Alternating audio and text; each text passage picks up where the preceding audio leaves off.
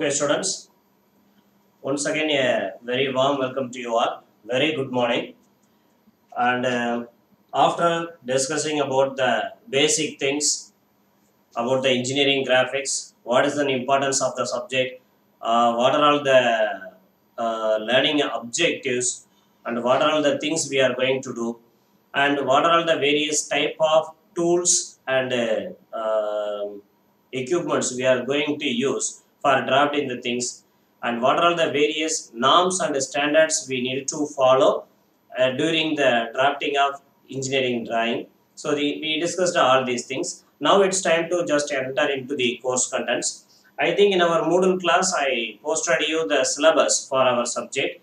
In that uh, it is clearly mentioned that you are going to learn five different units. And in that the first unit is engineering curves engineering curves in the engineering curves unit we are going to uh, learn to draw.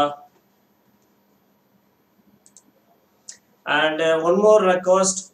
Whenever you are logging into the google meet try to log in with the college domain email id what is given to you. Okay? It's my kind request because uh, during the class i am not able to go to the uh, laptop and again and again permit the students to come enter into the class. It's just an uh, disturbing thing. So once you are logging with your our college domain email ID, you need not to prompt for my uh, permission. Simply you can come and sit in the class. Okay. So few students still they are logging with their own Gmail ID. Uh, this is uh, somewhat uh, uh, hard to me to go frequently to the screen and permit them to enter into the class. So try to log in with your college domain email. Okay, right. And in the engineering curves, the first section is conic curves, then cycloids, and then involutes. So conic curves, cycloids, and involutes are the portions we are going to cover in the banner first unit engineering curves.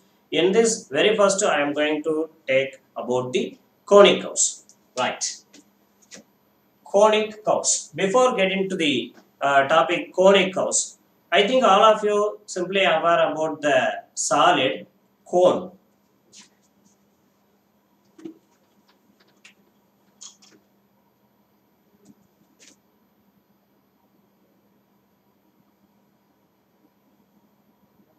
Cone. It's a very simple solid.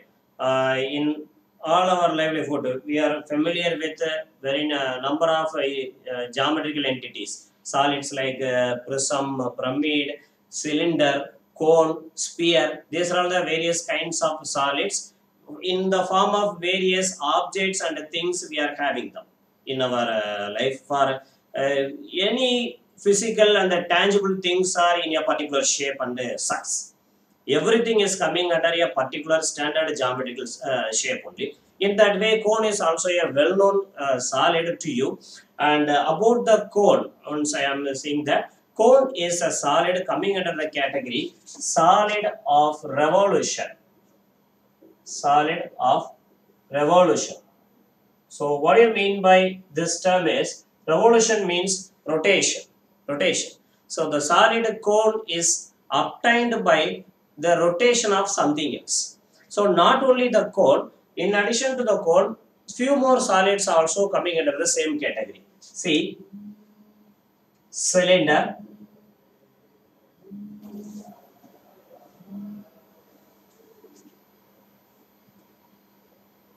cone, sphere.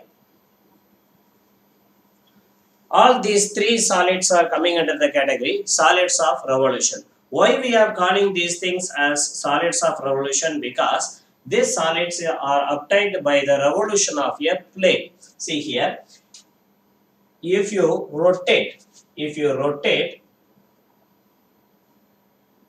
a rectangle, this is simply, what is the name of this shape? It is a rectangle. If you rotate this rectangle with respect to the vertical axis, then what you will get? You will get a cylindrical shape. You will get a cylindrical shape. So cylinder is a type of solid which is coming under the category solid of revolution obtained by rotating a rectangular surface with respect to one vertical axis. In the same way, how to get the cone? You need to rotate a right angle triangle. You need to rotate a right angle triangle with respect to the vertical axis. Then you will get the solid cone. I think are you able to uh, find how to get the sphere? Yes, simply by rotating a semicircle, a semicircle with respect to the vertical axis, you will get a sphere, a sphere. So in this way, we are obtaining these three solids from a 2D element to a as a 3D element. That's why these three kind of solids are coming under the same umbrella as solids of revolution. Okay. So among these three, uh, in the chapter projection of solids, we are going to uh, deal all these solids. Now, why I am discussing about these things because in order to study the conic curves, you need to be well aware about the solid cone. Okay. Now, all things apart, just consider about the cone.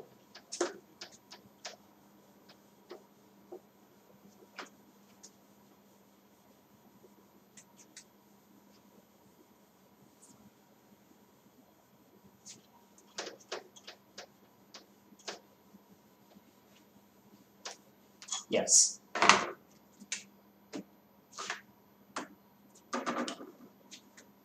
Cone. It is a solid of revolution and it is having an apex point. It is having an apex point. The narrow point, the narrow point in the top of the cone is called as apex point or vertex point and the bottom wider surface the bottom surface you see in the cone we are having a bottom surface so what is the shape exact shape of this bottom surface? It is a circle. It is a circle. The bottom surface is a circle. In the 3d isometric view maybe it seems like an oval but it's actually a circle okay? And at the tip we are having the apex apex. And a line connecting the apex, imaginary line, okay, the imaginary line connecting the apex and the center of the bottom circular surface is called as axis of the cone, axis of the cone, okay, and this axis is always perpendicular to the bottom surface. This bottom surface generally called as base of the solid. Base surface or simply we can mean it as base of the solid. So this axis line, imaginary line, there is no the physical existence of a uh, line type structure in the solid. For our geometrical analytical methods and calculations, we are considering an imaginary line inside each and every solid, not only in the cone, in a cylinder, uh, in a square prism, in a square pyramid, in a hexagonal pyramid, hexagonal prism, all type of 3D solids are having their own axis like human backbone. Okay, so this axis is always perpendicular to the base surface. So these about the uh, basic parts of body of a cone. And then what is the relation between a solid cone and conic curves. What we are going to draw. Conic curves. What is the relation between the cone and the conic curves? In before studying about the conic curves, you need to know about what is conic sections. Conic sections. Conic sections are nothing but the surfaces the surfaces. So the surface is conic surface and the curve obtained or considered in the conic section is nothing but a conic curve. Now, uh, what are all the various conic curves we are going to deal in this chapter? Let me to list down them. After that, one by one, how we, uh, they are obtained from the cone, I will discuss. The first one, simply.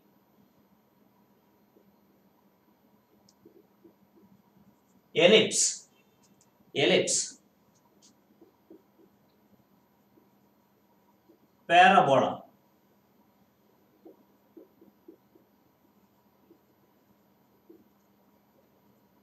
hyperbola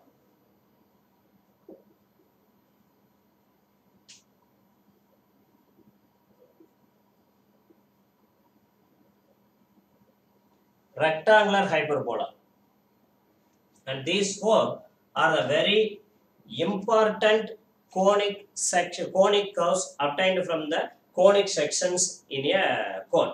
Apart from this all uh, we are we can get some special or not they are special a regular geometrical shapes circle and isosceles triangle. Isosceles triangle. So just keep these two parties away. Now consider only these four things ellipse parabola hyperbola rectangular hyperbola. Okay. These four are the important conic curves we are going to draw in this unit. Okay.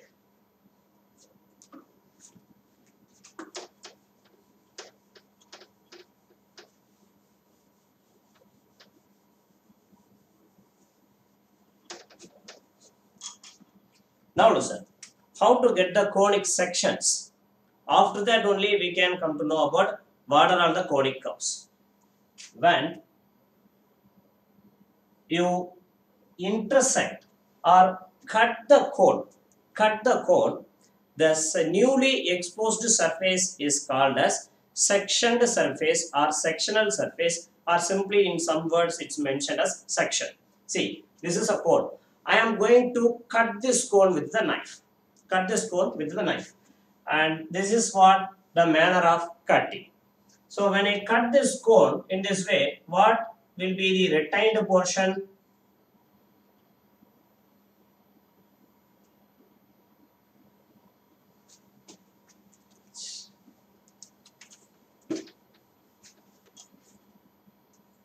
This is nothing but the retained portion. I just cut the hole with the knife. This is a retained portion. Okay, now if I look from the top, if I look from the top, what will be the shape of the newly exposed surface? It's a circle. It's a circle. When I look from the top, the shape, the shape of the newly exposed surface will be a perfect circle. A perfect circle. Perfect circle. This surface is called as sectioned surface because I am sectioning this solid. I am sectioning this solid. So the surface, newly exposed surface obtained is called as sectioned surface.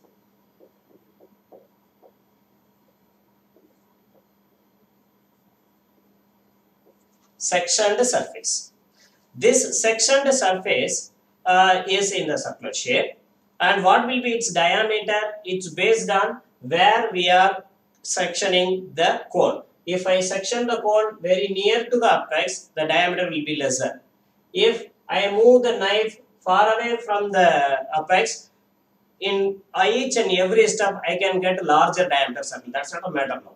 Just consider about the shape only instead of cutting the cone with the knife and here the manner of cutting is simply parallel to the base you look at the knife and the solid base are parallel to each other in this way if i cut the cone the newly exposed surface shape will be a circle instead of that if i cut it in various other manners definitely the shape of the sectioned surface will be differ based on the manner of cutting. Manner what I am pointing here is the angularity relation between the knife and the base of the cone.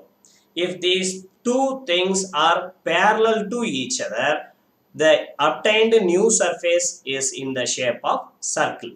Okay, circle. If it is differ, then the shape will be different. see here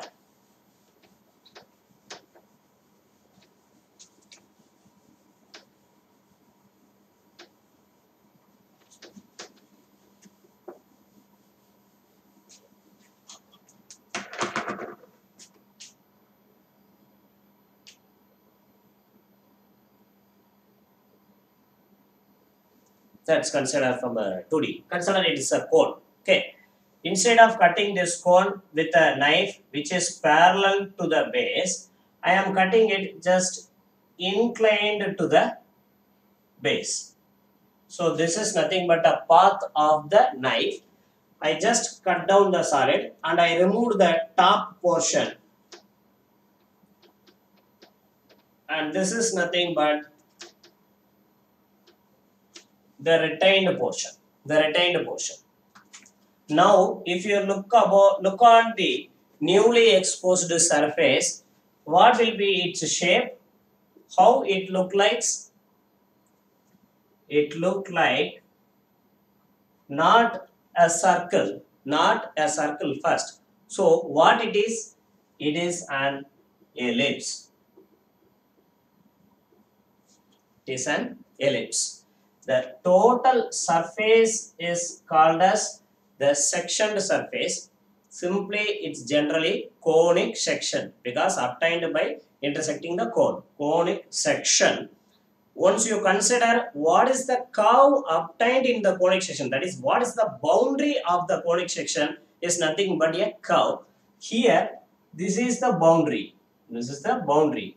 This boundary is in the shape of an ellipse. In this way only, the elliptical shape is obtained through intersecting the cone and added as one of the shape in the engineering geometry. This is what the history of the ellipse. Okay, and how other curves are obtained. Uh, the, uh, the uh, things about the ellipse is not just limited within that. Lot of geometrical uh, equations and derivations are derived with the shape ellipse and based on its eccentricity and based on the various analytical parameters with respect to the ellipse. We will see one by one.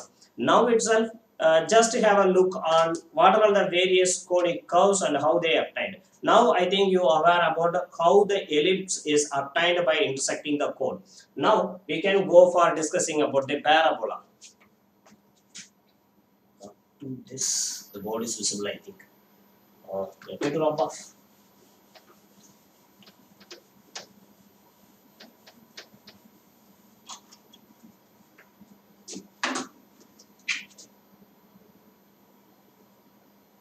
Yes. Again, a fresh cone is in our hand. I am not going to cut this cone with a knife which is parallel to the base and not to cut it with a knife inclined to the base and also uh, not touching the base. Now I am going to cut this cone with a knife which is inclined to the base itself but one more added point is here. The knife is going to be parallel with any one of the extreme boundary of this cone. This extreme boundary in the cone is generally called as generator. Generator. Uh, who is the generator actually? Who is the generator? Manufacturer or anything or anyone producing something is nothing but called as generator and why the extreme boundaries of the cone are called as generator because uh, at the birth of the cone I think you remember that the right angle triangle is revolved with respect to the vertical axis in order to obtain a cone. Here who rotated in this way? The extreme curve. The extreme curve rotates and produces the three-dimensional shape. That's why this extreme line is termed as generator who generated the cone okay so here also uh, i can use the same name so the extreme boundaries of the conical shape are called as generator. There is no uh, limited numbers of generator a cone is it's infinite actually. It's infinite. For example in the case of a square you can count the number of sides. It's simply four. But in the case of a cone, what are the number of generator? It's an infinite. Whenever you are having a look on a cone, the extreme boundaries are called as generators. There is no specific number of generators are present in a cone. Okay. And then, now I am going to cut this cone with the knife which is parallel to any one of the generator, maybe the left side or right side, any one. Uh, here I am taking the left side. So now I am going to cut this cone with a knife which is parallel to the extreme generator. Meantime, it's inclined to the base and it should cut the base. It should cut the base. Definitely, if you maintain the uh, knife parallel to the extreme generator, definitely this will cut the base. No doubt on that. So once you cut the cone in this way, the shape obtained. See here. Now I cut the cone and this is what the removed portion and this is the retained portion of the cone after sectioning. So what will be the shape of the section? Approximately this will be in this shape. In this shape you can get a sectioned surface, the newly exposed surface. In this newly exposed surface, if you look over the boundary, if you look over the boundary, this boundary curve, if you draw it alone, this will be in the in this shape. In this shape. This shape is nothing but parabola. Parabola simply parabolic shape. So in this way you can obtain a parabola by intersecting the cone with the knife and the sectioning conditions are you should cut the cone with the knife which is parallel to the extreme generator. In this way if you cut you will get a parabola. So mind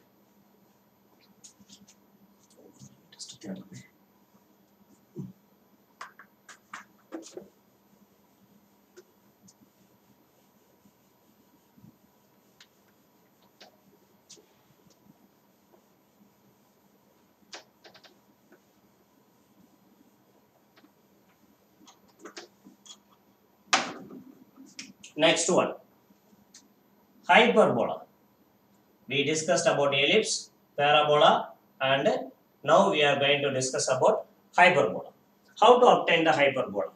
Again you need to cut the cone with a knife, with a knife and now the knife condition is it's again not parallel to the base surface. It's again should not be parallel to the base surface and the meantime it should not be parallel to the extreme generator also like in the parabola case it should not be parallel to the extreme generator also.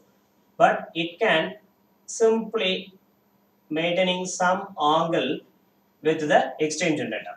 Uh, I mean right very clearly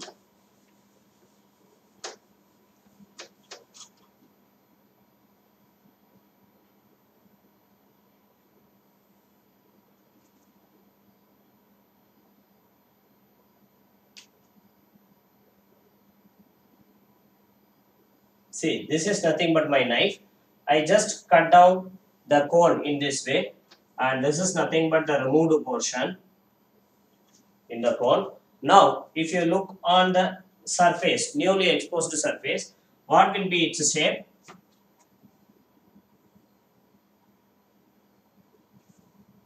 Similarly, simply it's a wider. Uh, let me do give some proportionate example. Simply a wider one. It's a wider one, not like your parabola in a, in some converge manner. It's a diverge manner. This diverge manner, the exact hyperbolic shape will be in a very diverge manner. Very diverge manner. For our understand purpose, here I am providing a shape which is not more wider. It's somewhat wider uh, than the previously drawn parabolic section. So this section is an obtained after intersecting the cone by sectioning it with a knife and the boundary line of this section the body it's not a line actually it's a curve. The boundary curve is nothing but our hyperbolic curve. Hyperbolic curve. So in this way we can get an hyperbola from intersecting the cone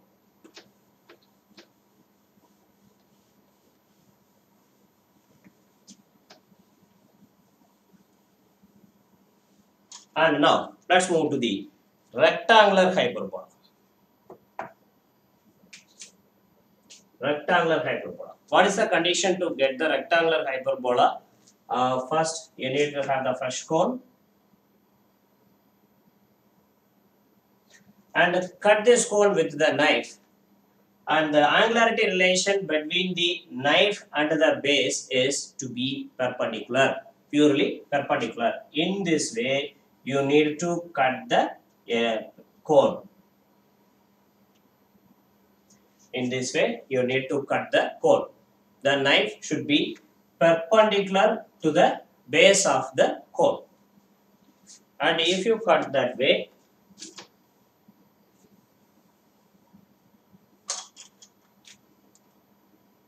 This is nothing but the retained portion in the cone. And if you look at the surface, the newly exposed surface, the shape of the surface will be more wider, more wider than the normal hyperbola, more wider than the normal hyperbola.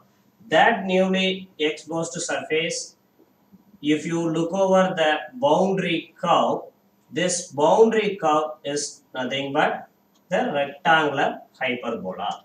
This is nothing but rectangular hyperbola. So in this way you can obtain the rectangular hyperbola. And now let me to summarize the things. Uh, how to get the ellipse? You need to cut the cone by means of a cutting plane which is just inclined to the base and it should not touch the base. If you cut in that way you will get an ellipse. And how to get the parabola? You need to cut the cone by a cutting plane which is inclined to the base. The meantime, it should be parallel to the extreme generator of the cone. And how to get the hyperbola? By means of a cutting plane which is not parallel to the extreme generator and it should touch the base and the meantime it should make some angle little uh, with the axis little more than the angle made by the generator with the axis. Let me to summarize these things. So in the case of the hyperbola, the angularity relation can be strongly given by some uh, additional words. See here, this is the axis of your cone. And now the aim of this cutting is to get the hyperbola. Here you can see, you will get the hyperbola definitely. And the cutting plane is not parallel to the extreme generator and it is making some angle and this angle may be theta with the axis is lesser than the angle made by the extreme generator with the axis. So always the extreme generator making some angle with the axis of the cone. This angle can be considered as theta 1 in order to get the hyperbola, if you cut the solid with the cutting plane which is not parallel to the extreme generator and it should make some angle theta which is lesser than the theta 1 which is lesser than the theta 1. This is theta 1 and that is theta. So this is also a condition in order to hit the hyperbola and in the case of rectangular hyperbola simply your cutting plane should be perpendicular to the base.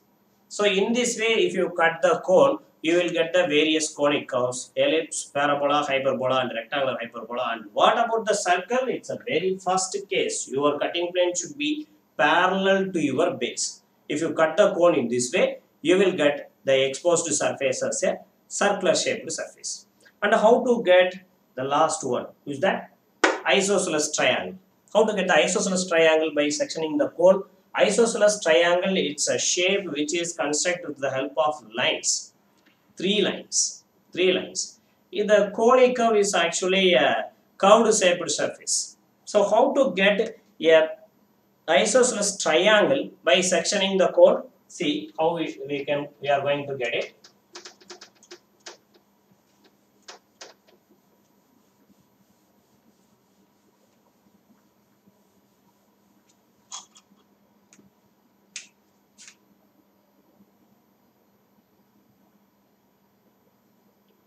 So this is my cone.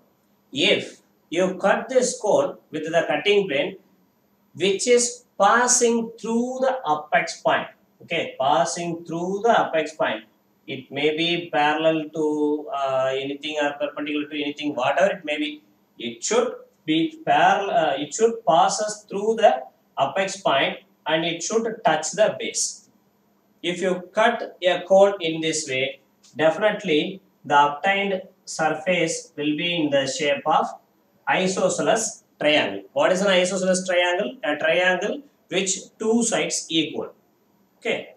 So in this way we can get various different shapes by sectioning the cone. And our uh, topic of interest among these all are ellipse parabola hyperbola only. We are going to draw these three things only in our drawing sheet by using an simple method eccentricity method Number of methods are available to construct these conicals by using the geometrical tools, but we are going to follow only one method for constructing these three things parabola, hyperbola, ellipse by the help of eccentricity method. Okay, and first, before doing how to draw the ellipse, parabola, hyperbola, let's have a short look on what is eccentricity. Uh, let me to rub off these things.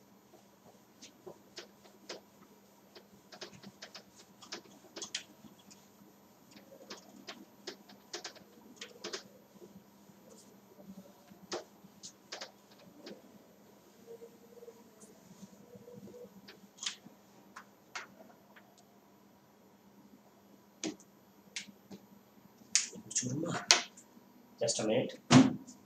Sorry.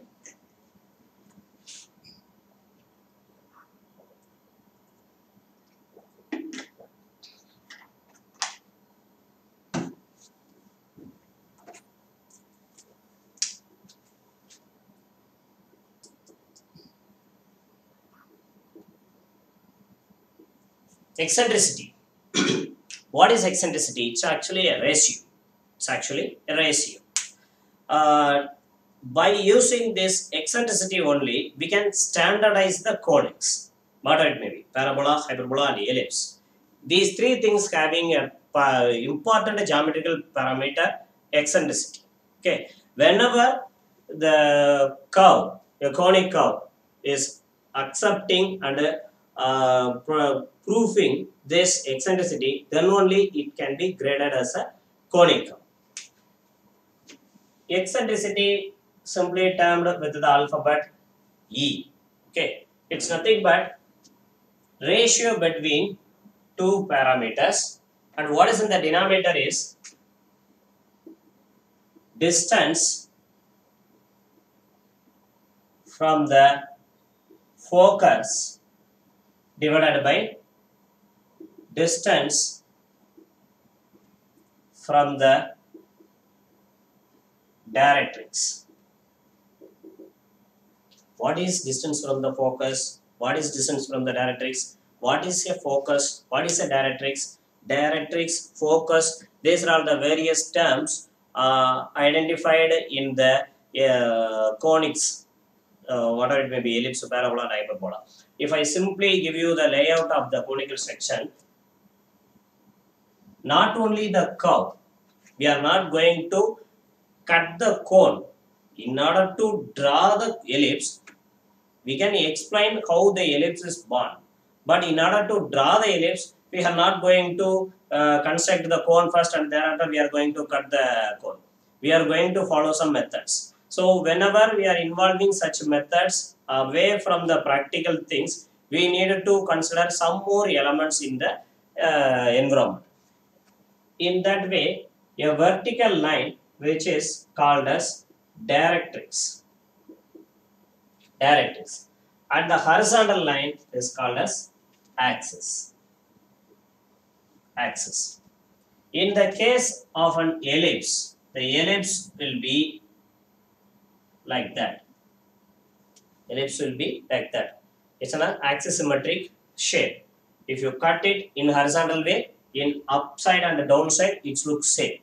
If you cut it in the vertical side, the left side and the left side or right side also, it's the same. So that's why the elliptical shape is called as axis symmetric shape. And the ellipse is actually having two directrix because it's a closed curve. It's a closed curve, not like parabola and hyperbola.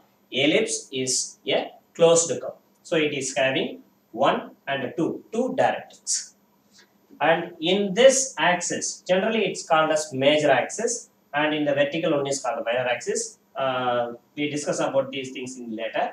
So in the axis, inside the ellipse, we are having a point named as focus point and it is denoted with the alphabet F.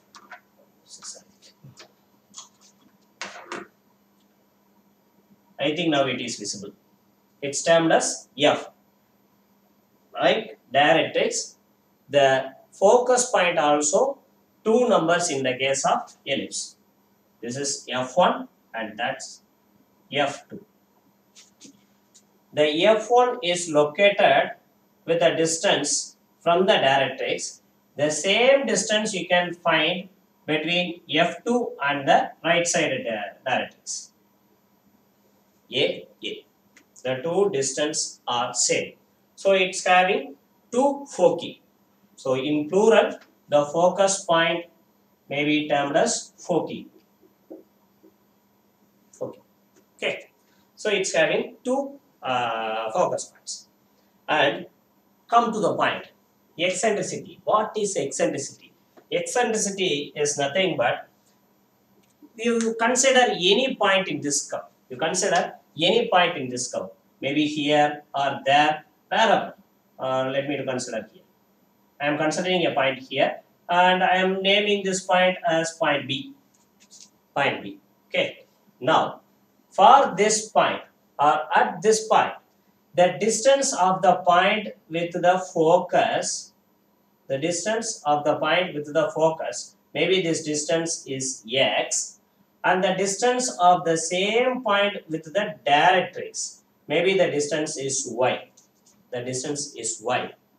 If you have the ratio for x by y, x is nothing but distance from the focus. So this is the focus, this is the particular point what I uh, estimated and the distance x divided by distance from the directrix. The distance of the same particular point with the directrix, that horizontal distance y. If you have the ratio, this is nothing but the eccentricity. And what is the speciality in that is, if you consider any point, any point in this curve, and find the distance of the particular point with the focus and a particular point with the directrix. If you have uh, this is x1 maybe that's y1 and the x1 divided by y1 is again equal to x divided by y.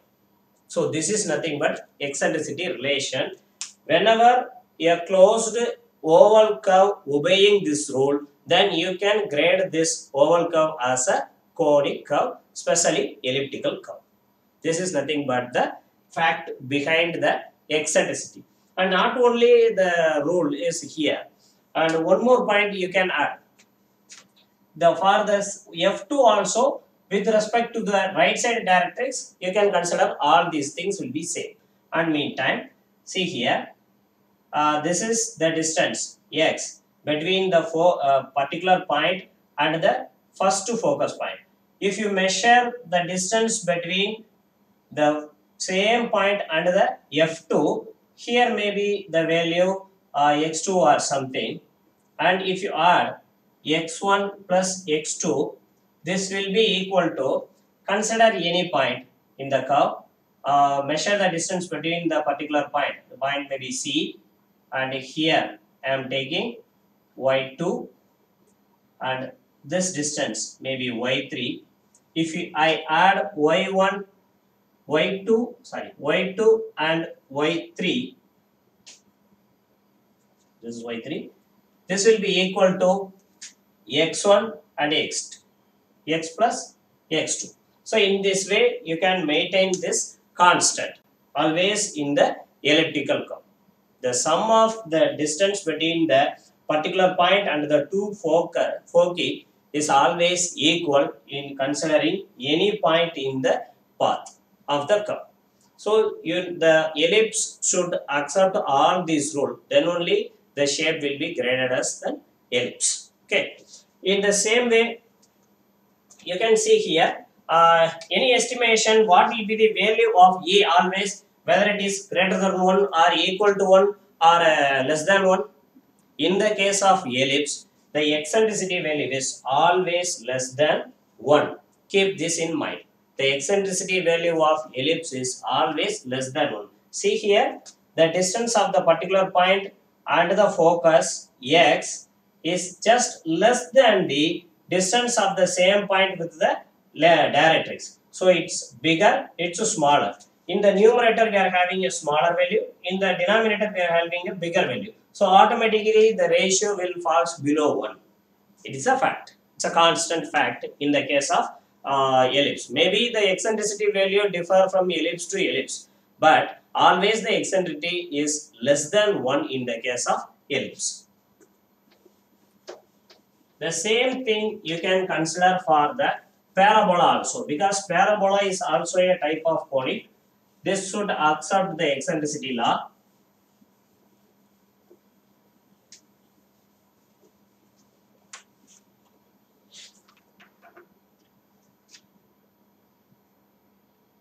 See here.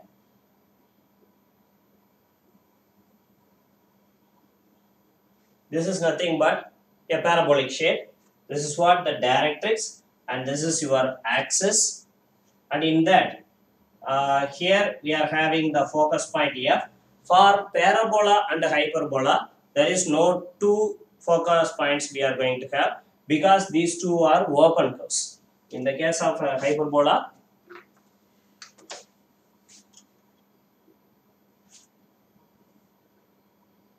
somewhat wider diverge manner when you compare with the parabola. It's wider.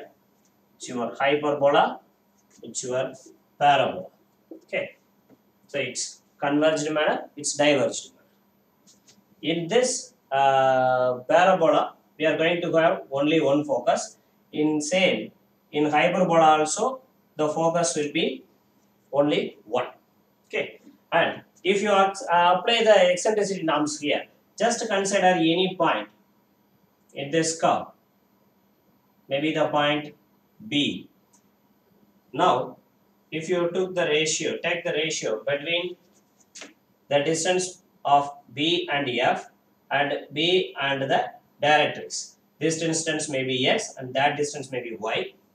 Uh, and if you find out the ratio, distance from the focus X, distance divided by distance from the directrix, distance from the directrix Y this will be 1 always. In the case of parabola only because the two distances will be same. In the case of parabola. Okay. Any place you can take if you uh, find a point c here and if you measure the distance between the point c and f and the point c and the directrix uh, this x1 and y1 if you find out the ratio this will be equal to 1 only these two will be always equal. So this is the thing but the fact behind the parabola eccentricity.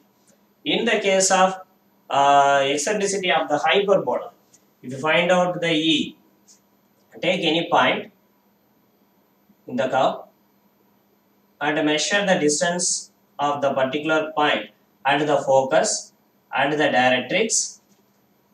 Uh, this distance may be x, that distance may be y if you find out the eccentricity, distance from the focus, distance of the point A from the focus x divided by distance from the directrix, distance from the directrix of the same point A y. This will be always greater than 1. Always greater than 1. See here, it's lesser, it's bigger. So, numerator bigger value, denominator lesser value automatically the ratio will be greater than 1 and that ratio for example it is 1.3 1.4 1.5 whatever it may be if you take any point in the curve and measure the distance and find out the ratio this may be x1 and that may be y1 x1 divided by y1 will be equal to x divided by y in a particular hyperbola. Not all hyperbolas having same eccentricity value. A particular hyperbola having an eccentricity value and that eccentricity value will be obtained when the n place if you consider a point and find out the eccentricity. Okay. So this is nothing but the fact behind the eccentricity of the conic conicals. So you have to keep in mind in the case of ellipse, the eccentricity value is always greater than 1. In the case of parabola, the eccentricity value is always equal to 1. In the case of hyperbola, the eccentricity value is always sorry here eccentricity always less than 1 eccentricity in the case of hyperbola it's always greater than 1 okay why it is lesser than 1 equal to 1 greater than 1 just to be discussed. Okay just to be discussed. And keep these things in mind. These are all just basics about these curves uh, what is parabola what is hyperbola what is ellipse what is eccentricity how these curves are obtained by using the cone. So they are very very basic. In your school age i think you study a lot of things regarding the uh, ellipse parabola and hyperbola in the analytical geometry here we are not going to use these equations for solving the issues or problems in the analytical manner here our duty is to draw the ellipse parabola and the hyperbola by using the eccentricity method. Okay, one by one we can study. First, parabola.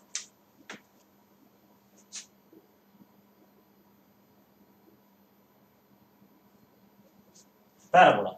How to construct a parabola by using the eccentricity method. This is what the thing uh, we are going to learn first. After that, one by one the conics can be studied. Uh, in your case, the question will be like that. Draw a parabola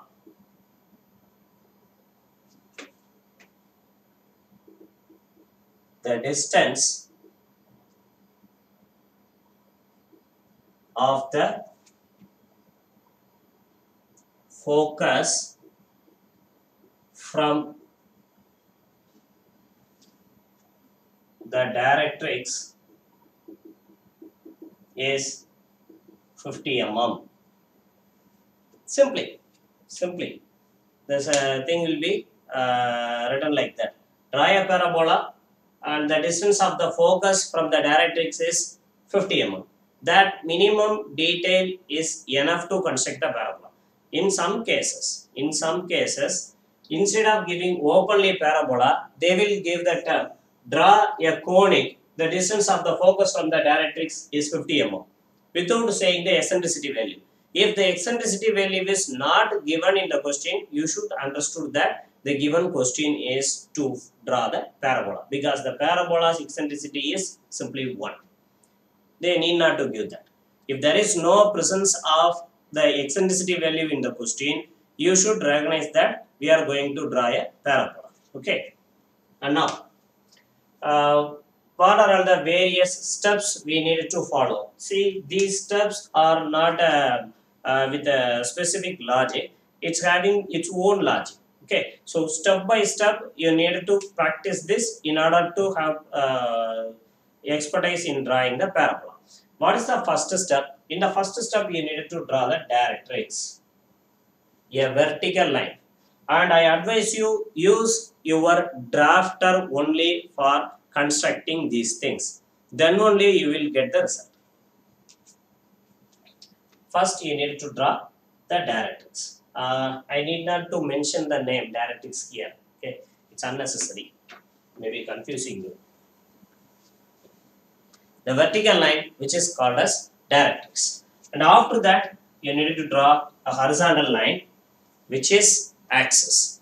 And the axis and the directrix intersect at some points. Name it with any alphabet you want. I am naming it with E. Okay, E. And then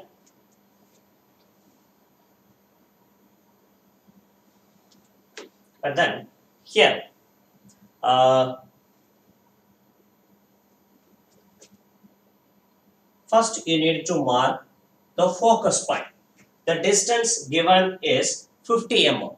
The distance between the focus point and the directrix is 50 mm. It is given in the problem. So, in the axis, measure 50 mm distance from the point E because from the directrix, measure 50 mm and mark the focus point F in the axis. Okay. And after marking the focus point, you need to mark the vertex point. Vertex point is nothing but the uh, extreme point in the parabolic curve. Parabolic curve. So that V, vertex point should be marked at the middle of E and F.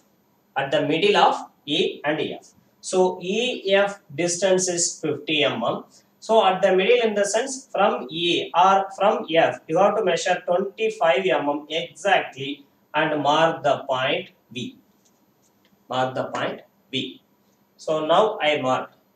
After that, randomly mark points with uh, naming with the numerals just after V, not before V, after V, uh, maybe here 1, 2, 3, four, five, six, seven, eight, at least up to 8. That's enough. You should not mark at endless way because parabola is a open curve. You can draw a parabola Uh, uh, for infinite uh, hours if you try to draw. But for our convenience, we can start with the point 8. And what is the distance between the point 1 and 2, 2 and 3? It's your choice. It's your choice. There should be no condition to have the equal distance between 1 and 2 and 2 and 3. They can be different. But I uh, recommend you to take equal distance in order to get the smooth curve for the beginner level. Okay. There is no wrong to take dissimilar distance between the points because the points name is actually arbitrary points. Arbitrary points in the sense their the, the uh, inter distance is uh, not similar, they are dissimilar. But for our convenience, for the beginners like you, once you want to get a smoother curve, then it's better to take equal distance between the points, mark the points in the axis, and after that, use your drafter. Use your drafter and draw vertical lines from each and every terminal. From 1, I just drawn a vertical line. From 2, from 3, from 4, from 5, from 6, from 7, from 8. See here, this vertical, each and every vertical line should be parallel to the directrix and perpendicular to the axis. You should obey this norm in all vertical lines. If you violated the thing, the curve will be collapsed. That's why I insist you to use your mini drafter to draw these things. In using the mini drafter, I think the yesterday the video demonstration is given to you how to use the mini drafter and uh, how efficiently we can draw parallel lines and perpendicular lines by using the mini drafter in the paper without having more concentration. So just like that way, you can draw the perpendicular and parallel lines by using the mini drafter, but in the normal scale, it's not possible. Definitely, as a human being, we can choices uh, chances are there for making mistake by using normal tools. But once you use the mini drafter, there is no choice for error if you rightly set the mini drafter and rightly using the mini drafter. Okay? So i recommend you use strictly use your mini drafter for drawing these things. You can be uh, stress free drawing. Okay? So just draw the vertical lines from each and every point. And after that now use your uh, compass use your compass and take e as center and 1 as radius load your compass with this value e1 e1 and make F as center in the compass and cut R in the vertical line drawn from 1 in upside and downside. What I did actually, I loaded my compass with the radius equal to E1 distance and with F Fs radius cut arc in the vertical line drawn from the point 1 upside and downside. Meanwhile, take E to 2 distance in the compass. E to 2 this distance. Again make F as a center. In the vertical line drawn from the 2, cut arc in upside and downside. Same way, load the compass with the distance E3, make again F as center, cut arc in upside and downside of the vertical line drawn from 3. The same way, take E4 distance in the compass, make F as center, cut arc in upside and downside on the vertical line drawn from the 4. In the same way, you can cut arc in number 5 vertical, number 6 vertical, number 7 vertical, and finally number 8 vertical. In this way, you can cut points, arcs, and starting from V, connect all the cut points in top and in bottom. You will get the required parabolic curve. Required parabolic curve. In this way, you can draw the parabola by using the eccentricity method. Uh, in order to draw this, you need to know about how the parabola is born by using the cone intersecting the cone with the uh, cutting plane parallel to the extreme generator. You need not to know about the history of the parabola to construct the parabola by using the eccentricity method. However, it is better to know the background between each and every technical things whenever you are going to involve with that. Okay. So, in this way, you can draw the parabola. And uh, don't worry uh, um, if you not listened much this video lecture actually the things what i am discussing here in the video lecture i am going to post the same as a recorded video lecture in our class.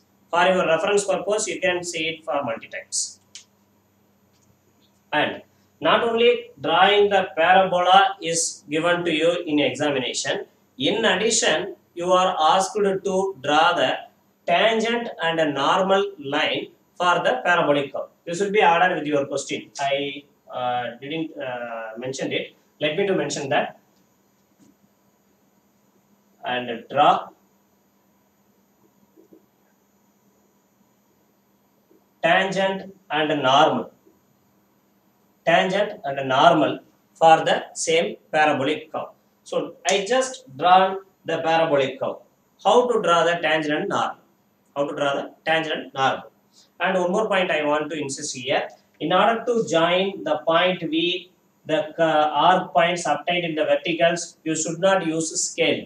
Okay, don't use scale to connect the points. Use the, uh, with the free hand only. With a smooth curve, you need to connect them, not with the scale. You should not connect the points with the straight lines. Okay, you should not connect the points with the straight lines. You should connect the points with free arc by your free hand. Simply connect them by means of a, uh, free hand arc. Okay, keep this in mind. And now I am going to draw tangent and normal. Tangent and normal are straight lines. Uh, how to draw tangent and normal for this uh, parabolic curve? Take any point in the curve. Take any point. Uh, maybe in the top side or in the bottom side, wherever. In the parabola, take any point. Uh, name this point, maybe its name is A. Okay. Now I am going to draw the tangent and the normal for this parabola at this point. What do you mean by the tangent actually? Tangent is a line to the curve. It should not cross the curve, but it should touch the curve. This is nothing but tangent. For example, if there is a circle is there, how the tangent of the circle look like? The tangent will just touch the uh, curve of the circle. It just touching it it should not cross it. It should pass by simply touching the curve. It is nothing but the tangent. What will be the normal? A line which is perpendicular to the tangent. A line which is perpendicular to the tangent is nothing but normal. The line which is touching the curve is nothing but tangent.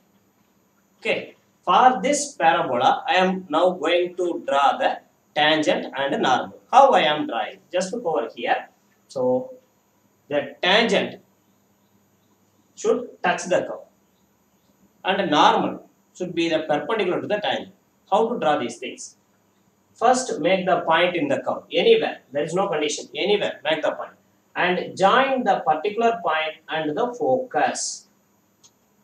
Join the particular point and the focus. And then, from this focus, draw a line which is perpendicular to the line connecting the point and the focus. For this, you should use your drafter.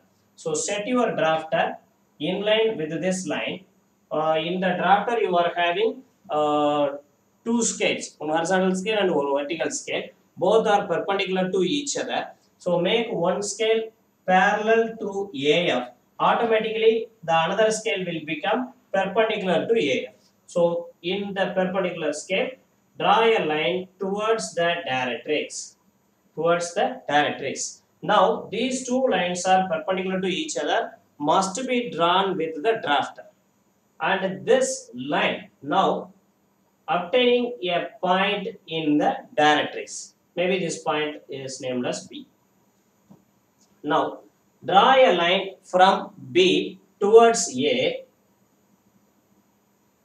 Definitely this line will be the tangent to the parabolic curve. This will never cross the parabola. This will pass just touching the parabola. On its way, this will touch the parabola. This is nothing but the tangent for this parabolic curve. And the meantime, at the same point, set your drafter in line with your tangent line. This is nothing but the tangent. Set your drafters one scale parallel to the tangent line and at the same point if you draw a perpendicular line to the tangent, that line is nothing but the normal line to this parabolic curve. In this way, you can draw the tangent and the normal for the given parabola. Okay. So, by using this procedure, you can construct the parabola and draw its tangent and normal. So, this is about the thing what I planned to discuss today. And uh, in the tomorrow, we can discuss about the ellipse and how to draw the hyperbola and all these things. And after that also, we are having some uh. And I think uh, from the initiation given yesterday, you may be uh, prepared yourself to draw the things within your home uh, by arranging the board and drafter and other drawing instruments in order to uh, complete the things what I am discussing in the class. Actually, uh, per the engineering graphics concern, attending the class is not enough to uh, become a best student. You should try the same within your home by your own hand. You need to uh, reproduce these things in the paper. Then only the learning will be completed. Okay, mind it. And let me to close the session. I will come through uh, simply through audio.